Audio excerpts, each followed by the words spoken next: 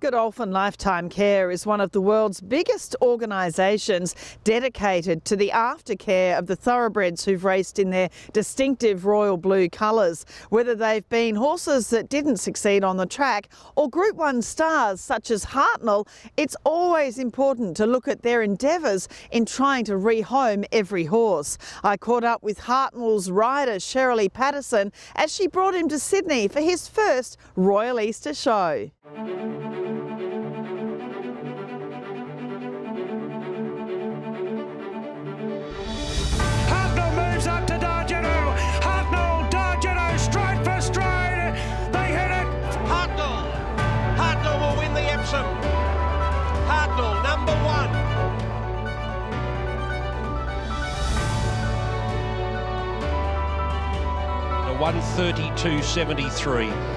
The first time they've ever broken 133 at the mile here, the famous mile at Royal Randwick.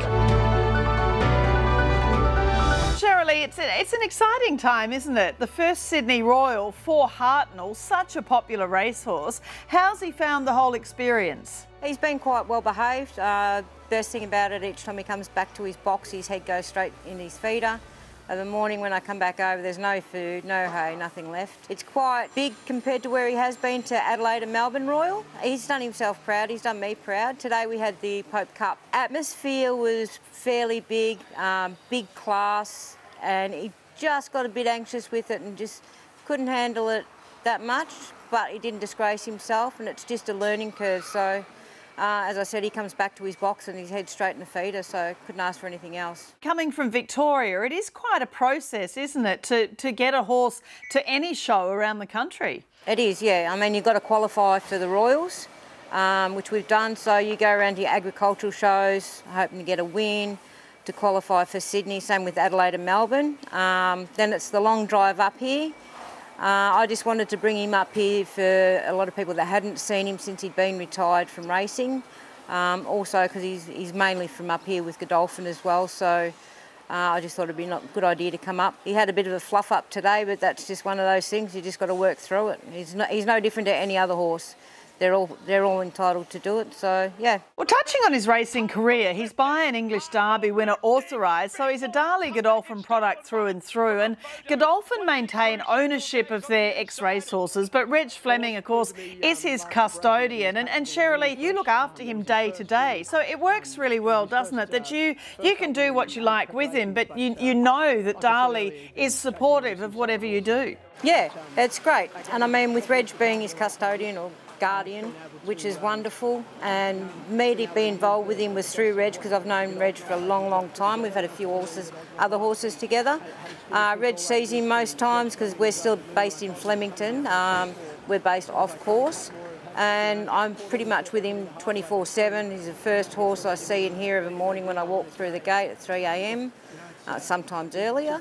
As soon as he hears the gate, he starts yelling out and screaming because he knows it's food time. You just feed him, and then he's as happy as Larry for the rest of the day. And Hartnell's going to make every single yard, sticking his tongue out at his rivals to win the Bahrain Trophy.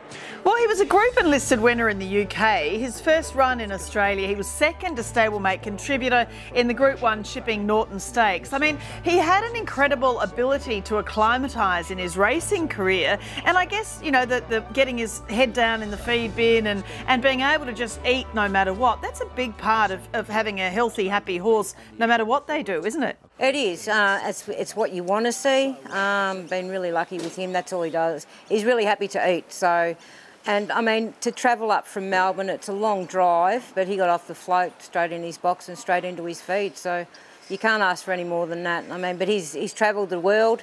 Uh, he's state to state to race and everything like that. So, I mean, you know, I'm just lucky to have him or be a part of his life. Uh, and I know Reg appreciates it so much from Godolphin's point of view as well. But Hartnell will take out the BMW. He won the Sky High. It was only his third start in Australia. He won the Rosehill Autumn Weight for Age Championship, the BMW.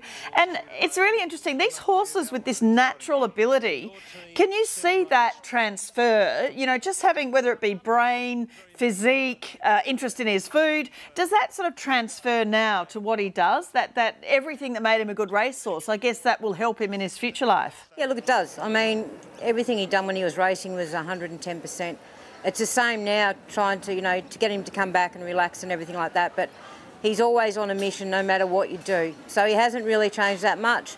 And I mean, it's the same at home. When he's finished working, he still goes and has his role after he's been unsaddled. So, like, a lot of things is, is still the same as what he was getting in his racing life. It's just uh, it's, it's, tremendously exciting, and uh, look, you know, I'm sure His Highness Sheikh Mohammed would be very proud of one of the best horses he's ever raced in Australia to win a, a time-honoured Randwick Mile. How's the wear and tear on a horse that's had, you know, a lot of starts, but I guess any 13-year-old horse is going to take some sort of managing. Do you know, Caroline, his legs are clean. It's a testament to Godolphin and their staff the way they do look after their horses.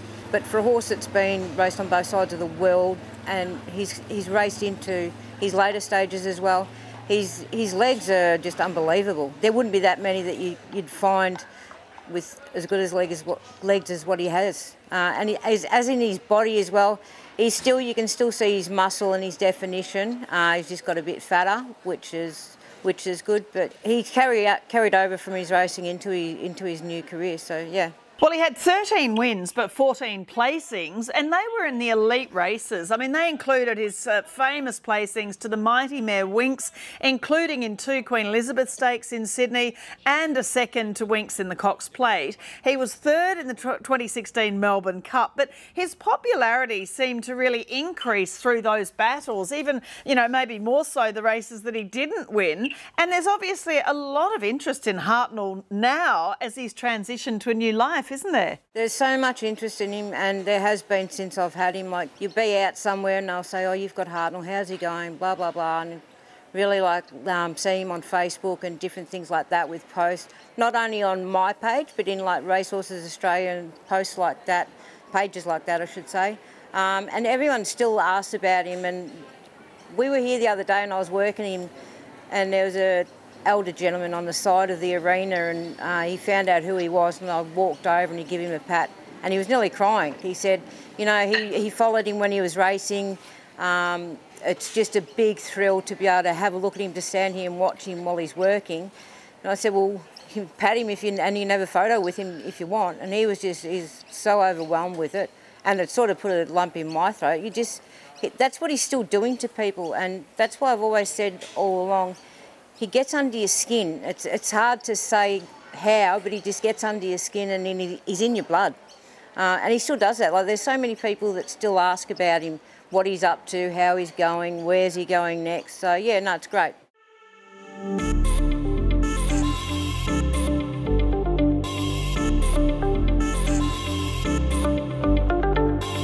Won champion breed at Equitana in Melbourne. So he's done a really good job already. And, and of course, the first class on Good Friday, we filmed him out at the Sydney Royal as well. And the RAS has done such a great job with this thoroughbred day, haven't they, on Good Friday? They have, yeah. They've, they've put on a great day. Uh, it's great to see, like, the, the Pope Cup was a massive class. So many beautiful thoroughbreds in there. Uh, new, like new season, there's also season ones in there. So it's, it's it was great and it was a big atmosphere.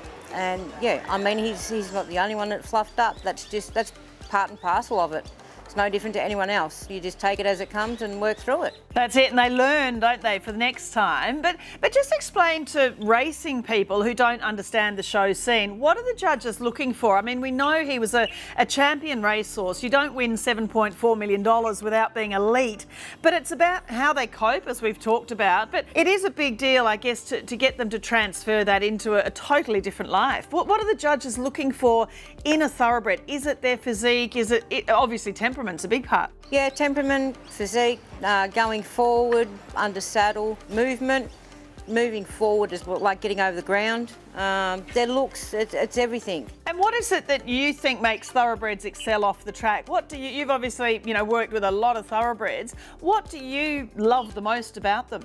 They're all different. So you, one day you, you've got them and the next day, you, you know, they might be in a different sort of a mood.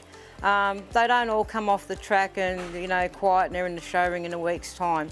Some take a lot, lot more time than others, um, but it's just, I, I, suppose sometimes it's just the challenge that really I like. And yeah, just sort of different horses, different times. anyone taking on a thoroughbred that might not know much about the breed, what, what's sort of some of the best advice that they should have if they're transitioning them to a new activity? If they don't know a lot, I would be getting them to ask some people for advice that actually know what you know know what they're talking about. If they need help, ask for it. Don't go on and do it yourself um, because you could cause not only injury to the horse but yourself as well. You need you need if you don't know much, you need someone to help you. Simple as that. So a lot of them won't make it to whether whatever discipline that you know that they're going for, but a lot of them will as well. So there's there's good and bad, but you need to know where they are. They might just have to retire in a in a paddock or something, but that's just that's life. They're still getting looked after. As I said, he is a very popular horse, Hartnell. How would you describe his personality? He can be a naughty little boy sometimes, um, cheeky. Loves cuddles though, so he's he's probably more sook than anything. But at the same time, he's sort of he's loud and proud. You know, he walks into somewhere. If you're taking him for a walk, he's like if there's people around, he makes sure that they know he's there. That's great. And so, what's next on the agenda? What are you looking for, sort of, for the rest of this year with Hartnell? What would you like to achieve with him? So the show season's finished now after Sydney Royal. So he, we'll go home, go back to Melbourne, and then he'll go for a spell for oh, a month or so, six weeks or something, and then it's all back into it again to start qualifying for next year's Royal Shows. It's just fun, isn't it? I mean, having these off-track thoroughbreds, there's so much fun to be had, isn't there? There is. Uh, and like there's there's so many things that they're able to compete in um, these days. Like you got your your led and your ridden, whether it be hunter or open hacks and things like that. There's always parades. There's I mean we've done a couple of things with Hartnell that people get to meet. They understand, you know, what happens after they've retired and get to see them. Like you got living legends back home as well. So a lot of retired thoroughbreds there, the older thoroughbreds. As I said, you know, he gets under your skin and he knows he knows that as well. So, but he is, he loves his carrots, he loves a kiss and a cuddle. But then other times you can walk in the box and he's like, no, I don't want to see you at the moment. So it's you do what you've got to do with him and then just leave him alone and he's happy.